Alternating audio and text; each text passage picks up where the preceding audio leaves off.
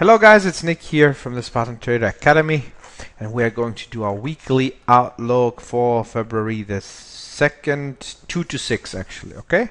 So, like always we start with the Euro US dollar which is still dropping like a stone. We had some retracements on lower time frames so we'll take a look.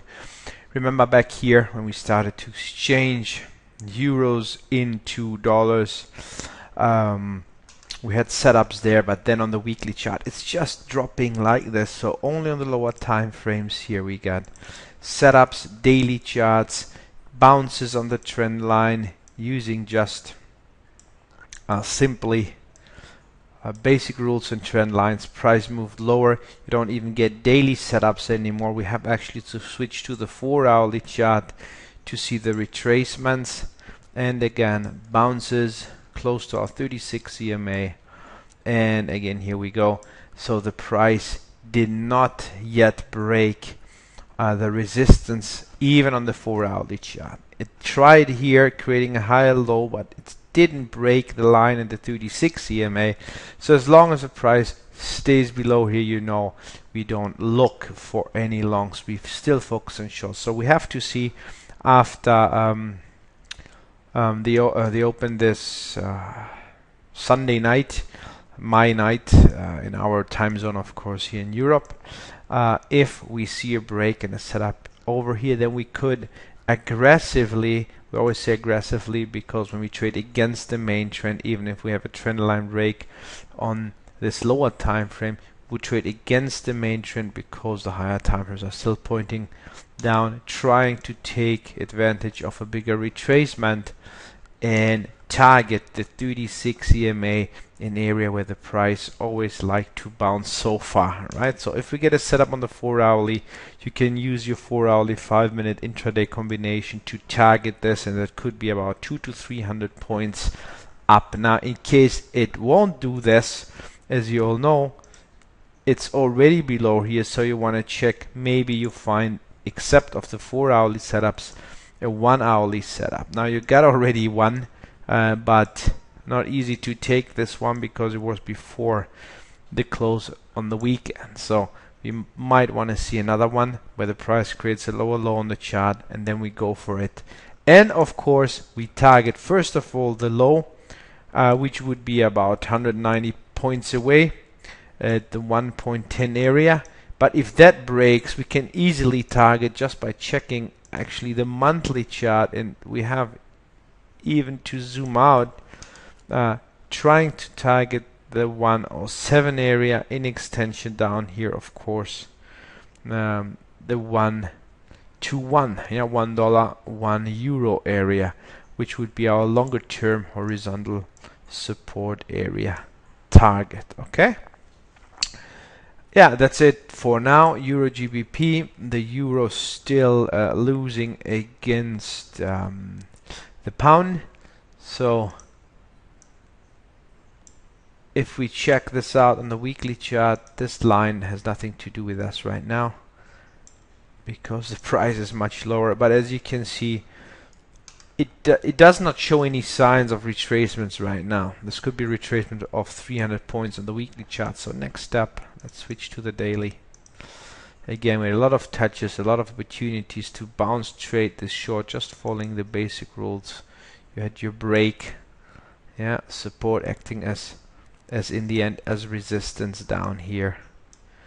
And price moved lower. So because as you can see it never retraced back more than just to the 12 EMA we have to be careful. We still focus on the shorts guys right? We still focus on the shorts according to um, the plan. And um, as long as the price stays below the 12 EMA for sure you can connect more or less three touches there. Check the four hourly chart. See you have to actually draw the line a little bit different and it makes sense most touches here ignoring the spike. You can see how nice these spikes works again in bounce trading uh, scenarios. Lower highs lower lows. Boom spike. Price actually moved down again 270 points. Here again touched the extension of this line scratched it bounced off it about 15 points. So what we need now is to make sure that this line breaks before we look for short setups or it has to break up so we can look for longs. In that case on the daily chart we will target again the 36 EMA for now and then we'll see. Okay? Why? Because if you extend the high and the previous lower high and uh, extend it, that's what happens. Okay, cool. GBP CHF retracing um,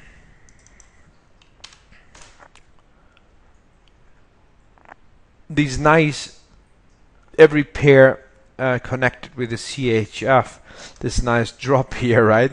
Um, actually killed a lot of accounts but now that it is retracing we had a retracement of 1300 points or more already. This is a huge daily 1 to 3 too short. So not just because we retrace, don't get nervous and think, oh great, we are saved, we, we can all now buy against CHF or something. Um, I mean,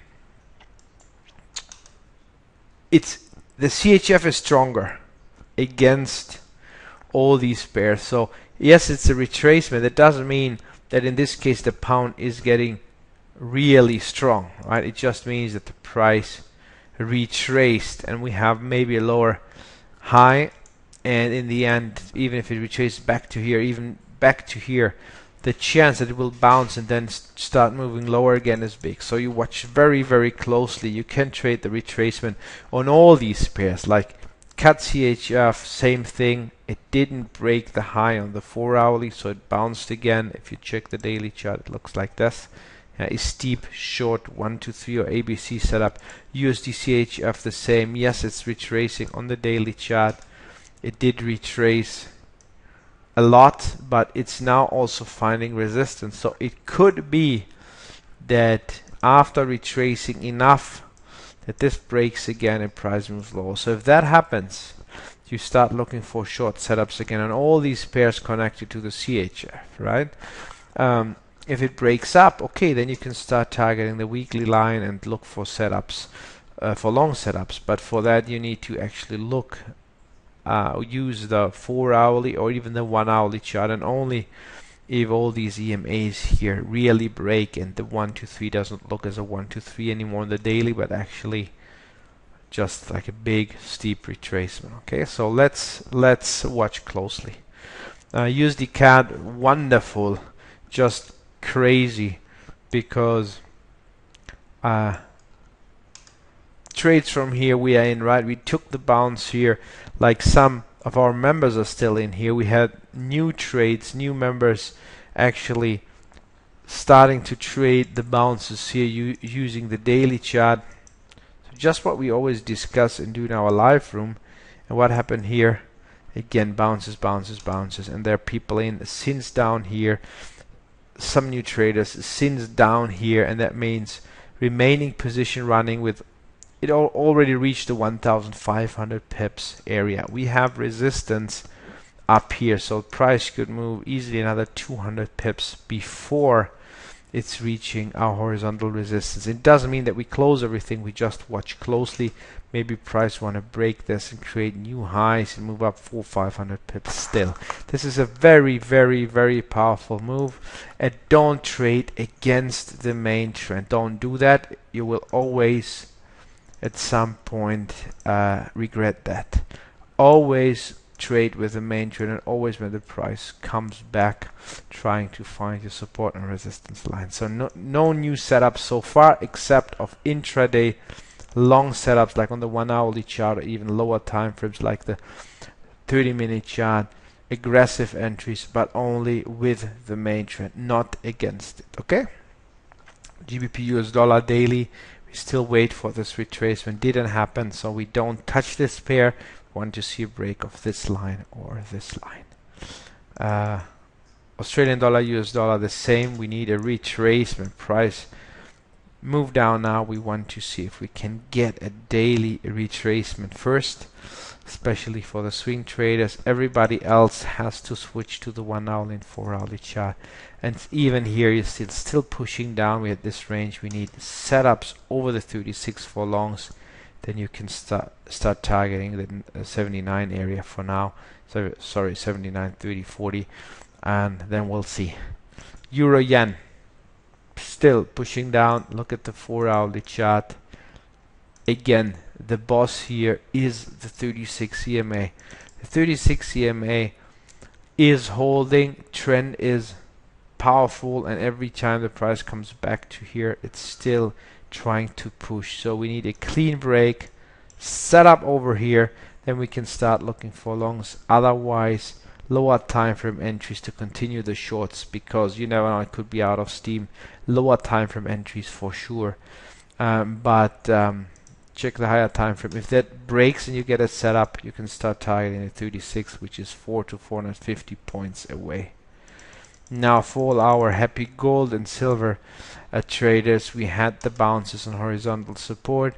Some of you already in, banking about a 1000 points on that one. Um, now a confirmation for the real shorts would be if the price actually breaks this weekly 2 to 3 line break, right? So watch closely on the daily chart. This might be something. This is right now a long 1 to 3. So if you see reaction here, price not moving higher but it really goes up make sure you create a win-win scenario by taking out most of the profits. So that means the second part of your trade should be out also if you see that going back up again. Same goes for gold. Um, our bounce trades. Now some of you did that already some are waiting for bigger spike.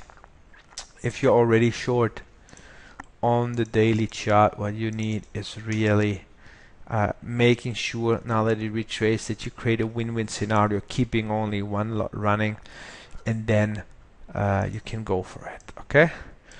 And uh, leave the last lot open. And if it wants to crash great. If not no problem. You have taken profits anyway uh, USD yen we don't touch yet except of course all the happy um, range traders because uh, between support and resistance. Here you can actually also do a nice trend line from up there. Um, only bounce trades here with your spikes or using the lower time frames. It's it's an area of about 100 points.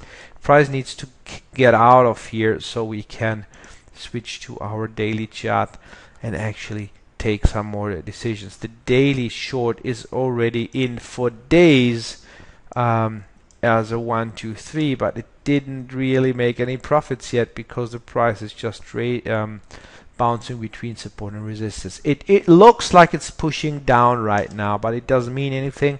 We need to see the confirmation. We need to see the price breaking this 117 30 40 area for good, right? And then we can target the lows at 115 80 90 down here. GBPJPY still the same trick. Uh, we had a weekly support here bounce uh, on the daily the same. It didn't really it made some profits about 400 points here. The previous bounce about 300 points but now it looks still like it wants to go down. So we watch closely don't bounce trade it again until it really gives us a direction now. So we switch to the 4 only and draw a line of resistance and price has to come out has to break out of here or here okay? Uh, Aussie yen this broke. We had we were looking for bounce trades again because it worked nicely here. And if you check on the daily chart by seeing that spike placing an order this only went up about 100 points then crashed. So this one didn't work out. Yeah don't forget your money management rules. Not every trade will be a winner.